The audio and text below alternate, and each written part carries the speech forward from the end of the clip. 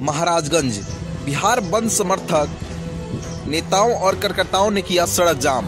बिहार बंद समर्थक नेताओं और कार्यकर्ताओं ने सड़क जाम किया। बिहार विशेष सशस्त्र पुलिस बिल को लेकर विधानसभा में हो हंगामे के बाद सदन में घुसकर पुलिसकर्मियों के विपक्षी विधायकों के साथ मारपीट की घटना को लेकर महागठबंधन के राजद नेता अरविंद गुप्ता व माले के मुंशी सिंह के नेतृत्व में आज बिहार बंद का आह्वान किया है। सुबह 10 बजे से ही बंद समर्थक नेता और कार्यकर्ताओं, नेता सड़क पर उतर कर विरोध प्रदर्शन कर रहे हैं। सड़क जाम किया जा रहा है। उधर प्रतिपक्ष तेजस्वी प्रसाद यादव ने आरोप लगाया कि बिहार में विधानसभा के इतिहास में पहली बार विधायकों को पिटवाया गया है और दोषी के अधिकारियों पर कार्रवाई की बजाय उन्हें संरक्षण दिया जा रहा है। सभी विपक्षी दलों ने बिहार बंद का ऐलान किया है।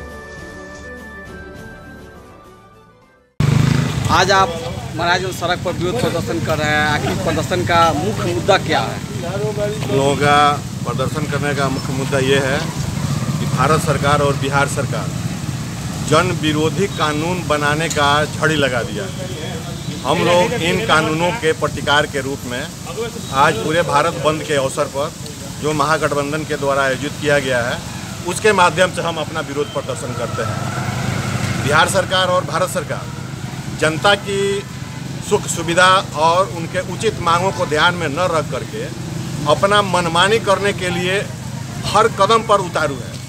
हम इसका कठोरतम ढंग से विरोध कर रहे हैं। वहीं सरकार करे कि जो सशस्त्र पुलिस विधेयक जो आया हुआ है औद्योगिक क्षेत्र में सिर्फ़ ही लागू होगा और आम जन के लिए नहीं है तो फिर ये ये उनका कहना है। लेकिन जब ये कानून बन गया या बन रहा है तो ये कुछ लोगों को भ्रमित करने के लिए औद्योगिक पर, औद्योगिक प्रतिष्ठान या और भी सरकारी जो प्रतिष्ठान है जहाँ इनका उद्देश्य है कि सिर्फ़ हम वही लागू करेंगे लेकिन ज़रूरत के अनुसार उन जगहों के अलावा भी ये इस पुलिस का उपयोग करेंगे और उनका विरोध करवाएँगे और पब्लिक को इसमें तंग तबाह करेंगे। बिना वारंट के किसी को भी ये गिरफ़्तार कर सकते हैं बंद कर सकते हैं। इसलिए हम इसका पुरजोर विरोध करते हैं। इस घटना ने देश की राजनीति को हिला दिया है और दिल्ली में जितने अखबार निकले हैं सभी अखबार के एडिटोरियल में, संपादकीय में बिहार की जो घटना हुई है, उसका विरोध किया गया है। पूरे देश में बिहार में जो कुछ हुआ, उसको लेकर के वो आतंकित है कि जनतंत्र में क्या हो रहा है।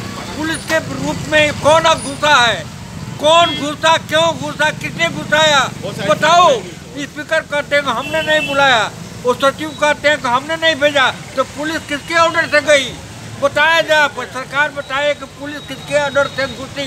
और वो पुलिस ठीक कोई नहीं है। और मारे हैं बेइज्जत किए हैं। हमारे चुने हुए विधायकों के साथ अत्याचार हुआ है। अभी देश नहीं चलेगा क्या भाजपा क्या भाजपा के लोग ही पुलिस के रूप में गए थे? हाँ जा करके मारे पीटे हैं। बताओ पुलिस को किसने बुलाया? स्पीकर ने बुलाया? कि सचिव ने बुलाया? किसने बुलाया बताओ? आप पूछिए किसने बुलाया पुलिस को? वो किसने बुलाया? स्पीकर कहते हमने नहीं बुलाया। सचिव कहते हैं हमने नहीं बुलाया तो कैसे घुसी पुलिस वहाँ ये बहुत बड़ा ट्रेंड चल रहा है बिहार में। बिहार का सबसे काला दिन रहा। जिस तरह बिहार विधानसभा में हमारे बिहार के मुख्यमंत्री नीतीश कुमार जी ने जो पुलिस सशस्त्र बिल 2021 हमारे पास कर पास कराने की जो रणनीति अपनाई वो सबसे बड़ा सर्वनाक है। ये कोई पहला बिल नहीं था। ये कोई पहला बिल नहीं था जिसका विरोध नहीं होता अ, हुआ नहीं हो। लेकिन ये पहला बिल ज़रूर था कि जब पुलिस का ही बिल पुलिस के बंदूक पर विधानसभा में इसको पारित कराया गया। और जो जनप्रतिनिधि हमारे जीत कर गए हुए थे विधानसभा में हमारे बिहार के मुख्यमंत्री जी ने जिस तरह उन जनप्रतिनिधियों के साथ उन विधायकों के साथ दुर्व्यवहार किए उनको अपने पुलिस गुंडा के गुंडा के द्वारा पिटवाया गया मैं उसका घोर निंदा करता हूँ कि जो नीतीश कुमार ने कहते थे कि मैं महिला सशक्तिकरण की बात करते थे लेकिन उन्होंने उनके सामने महिलाओं का ब्लाउज फरा गया विधायक महिला का ब्लाउज फरा गया। महिला विधायक का ब्लाउज फरा गया उसका साड़ी खोला गया।